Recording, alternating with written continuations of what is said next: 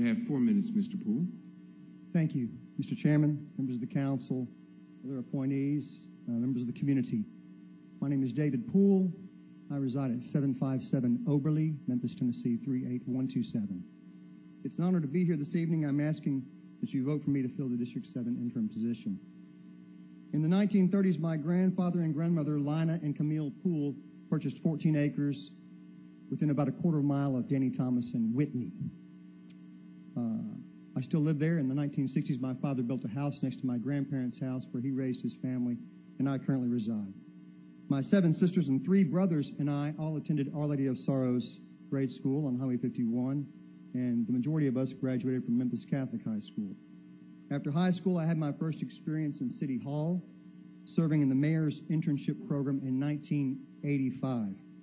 I served in the emergency management office.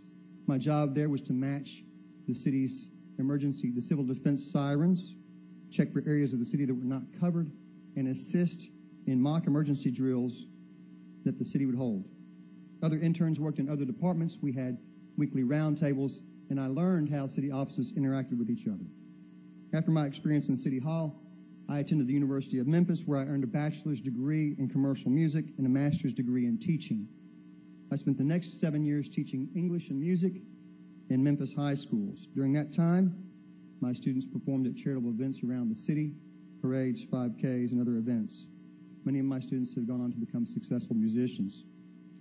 I left education to become a professional musician and played in Memphis, the Mid South, throughout the United States and Europe, and had the ill fortune one evening following Mr. Jason D. Williams, who I see in the audience this evening. It's, it's a tough act to follow. As a musician, I made it a point to support local charities such as the United, United Cerebral Palsy, the Dream Factory, the Make a Wish Foundation, and the Arc of the Mid South. I left the music profession to pursue a law degree. Since earning my law degree, I have been a solo practitioner, in house counsel for Drexel Chemical Company, and most recently as an attorney with Hudson Ziskind, PLLC. Besides voting and community involvement, I've not been directly involved in local government or politics until my recent bid for Shelby County General Sessions Judge.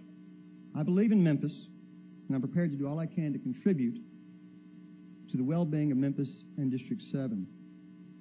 As a student and teacher, I know the value of educating our youth as well as imparting a love and respect for our community.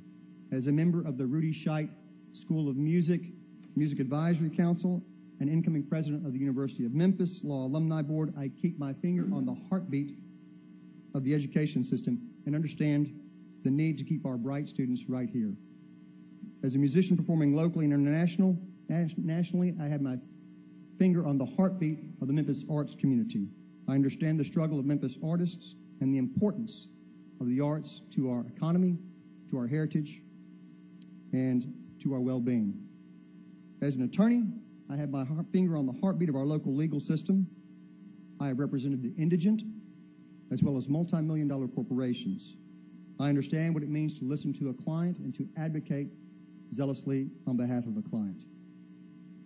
I understand what it means to negotiate and how far to negotiate. I am able to understand legal implications of matters which come before this board. As a recent candidate for public office, I learned the delicate dynamic of seeking a position to serve this community. I believe I have the background and skills to bring something special and unique to this council. Very quickly, I'd like to touch on work ethic. In my adult life, I've only missed one day as a sick day. I'll bring that work ethic to this council. In the aggregate, my skill, my knowledge, and experience make me the best candidate for this position. I hope that you'll cast your vote for me. Thank you very much. Thank you, Mr. Poole. Barbara Swearingen Ware.